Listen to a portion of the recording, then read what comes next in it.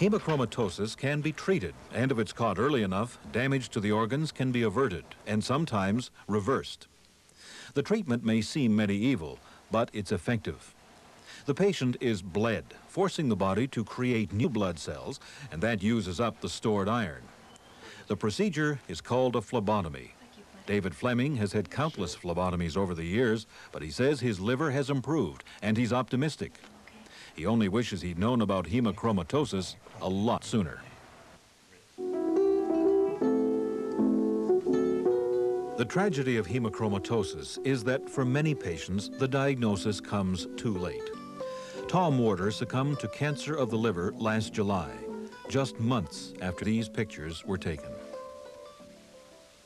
I feel very sad to think that I could have had Tom for a longer time, but also I'm very sad to think that we were married for nearly 50 years and for 25 of those years he battled every day. Marie Warder remembers her husband first became ill when he was 42. It started with diabetes that did not respond to treatment.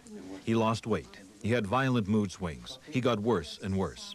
It was eight years before hemochromatosis was finally diagnosed. He had no memory. He was very, very confused. And it was only by the time that he had no eyelashes, no eyebrows, no body hair, only then was he diagnosed, and that was just a miracle. Uh, we, we are told now that he was within 12 weeks of dying. After phlebotomy treatments, Tom Warder got better, but he never became completely well again. He suffered from liver disease and from arthritis, and then from angina. He'd go up and then down he'd go again, then there'd be something else. But I think in his case, a lot of, of the damage was really too far advanced, you know. Marie Warder became determined that others would not suffer the unnecessary complications of hemochromatosis due to a late diagnosis. Thirteen years ago, she founded the Canadian Hemochromatosis Society.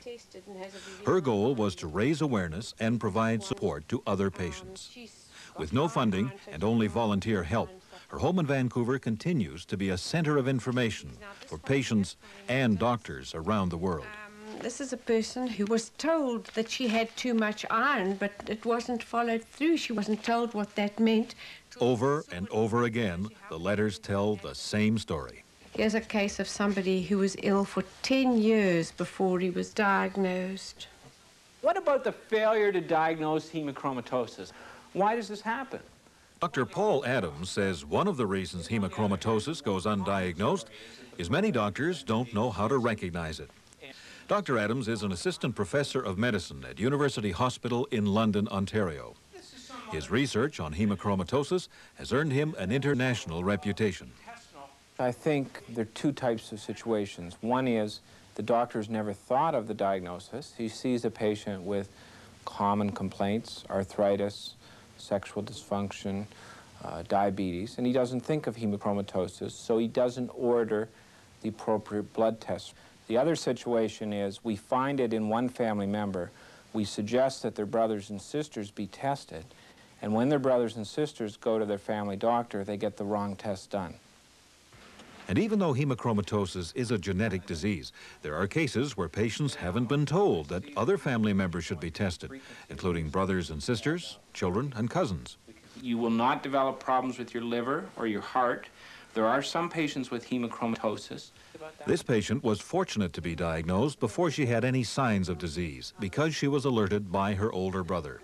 Her sister also has the disorder, two nephews, another brother people who are helped the most are at the earliest stage of disease, yet the people we tend to diagnose are at the late stages of disease. So the usual scenario is a late diagnosis in one sibling with a tremendous benefit to a younger sibling who may be 10 years younger. The problem is there are thousands of people who do not know that hemochromatosis is present in the family and they're being missed. They're missed because they don't have obvious symptoms. They haven't yet developed diabetes or cirrhosis or any of the other telling complications. It's a disease that is somewhat sinister in the sense that it's lurking in the background their whole life, and they don't know they have it until the damage has been already done. If only there was a simple way to screen everyone for the disease. Unfortunately, there isn't the one test that identifies hemochromatosis. Researchers are working on a genetic test, but in the meantime, doctors are left with blood tests that by themselves do not reveal the entire picture. There is a specific set of blood tests that can measure the amount of iron stored in our bodies. They indicate the patient's iron profile. The problem is there are other illnesses that cause high iron levels. Also, test results can be normal in a hemochromatosis patient whose iron stores have yet to reach high levels. In order to screen everyone without getting a lot of false positives or false negatives, the tests have to be a lot more specific. So, what's the answer? Well, Dr. Adams and Marie Warder agree that first of all, it's a matter of educating family physicians. They have to be on the alert for the patients who might be at higher risk, and they have to be persuaded that many of their patients may have the disease. Initially, the um, medical journals said that it was very rare. According to the authoritative textbooks that they were using until a few years ago, they would have figures like 1 in 20,000, sometimes 1 in 100,000. And even doctors I speak to today say to me, um, I've never seen a case. I never expect to see a case. It isn't that they have never seen a case. It's that they haven't recognized it when they've seen it because they haven't been looking for it. Warder has also found that even if they recognize the disease, many doctors are poorly informed. They believe that only older people suffer the effects of the disease, when in fact there are cases of children who've been diagnosed. Another example, Warder was told that she needn't worry about her daughter because women are protected by monthly blood losses. But it turns out her daughter does have hemochromatosis, and she was only 32 when she was diagnosed the index is that reliable that that. It's been Marie Warder's mission to see that doctors and patients get the kind of information they need. It took years, but thanks to her efforts, Vancouver now has a hemochromatosis clinic, one of the few in the world. Specialists at University Hospital are working together to develop and share their expertise. Dr. Stephanie Ensworth is an internist and rheumatologist. She says that in the clinic, they are finding that if you look for it, hemochromatosis can be found much earlier than it generally has been found. But often, doctors aren't aware that some common everyday ailments could be the early signs of hemochromatosis. Patients may just feel fatigued or tired. A very common complaint is vague abdominal pain.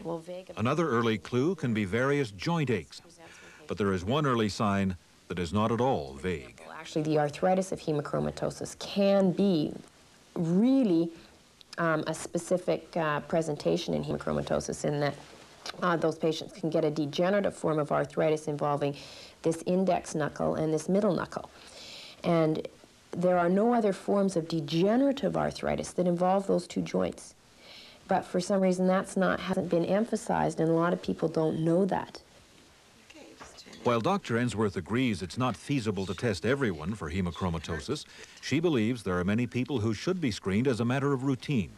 Family members of anyone already diagnosed, and then anyone who has any of the possible symptoms.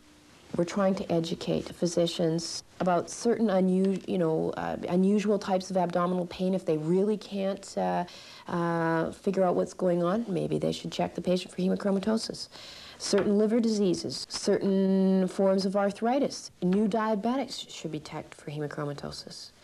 And uh, sexual medicine, um, those clinics um, should be screening some of their patients for hemochromatosis as well. Do you think hemochromatosis is taken as seriously as it should be? No, I don't. I don't really think that people realize that this disease is the, the complications of hemochromatosis are totally preventable if the patient is diagnosed early on. One of the things I think that perhaps hurts most is that my children have not known their father to be well. The unnecessary suffering, that's what frustrates me. And the fact that I've been at it so long and there are still people dying. Why is it that one can't reach these people before it's too late?